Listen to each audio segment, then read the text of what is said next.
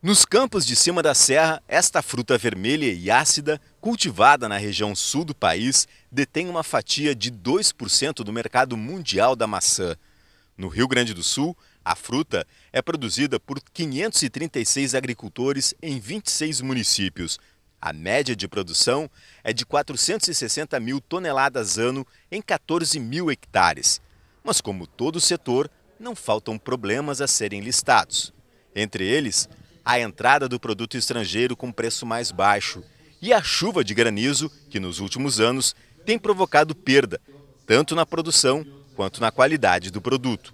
Esta situação foi relatada por representantes do setor ao governador durante este jantar ocorrido em Vacaria, maior produtor de maçãs do país. O setor produtivo né, trouxe várias tecnologias, implementou as tecnologias em Vacaria e hoje nós estamos trabalhando né, fortemente né, em alguns pleitos, junto com o governador do estado, né, no que diz, no que tange a, a subvenção do seguro agrícola, né, também na implementação e facilitação do acesso às, à, à implementação da, das linhas de crédito para a implantação das telas antigranizo nos pomares.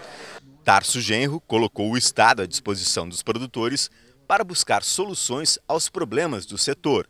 Vamos brindar aqui nesse momento com vocês, que são um setor em afirmação, em constituição estratégica de uma grande política de desenvolvimento regional aqui no nosso estado. Antes de deixar Vacaria, o governador cortou o cabelo numa barbearia do centro da cidade, um ritual que vem cumprindo nos últimos anos.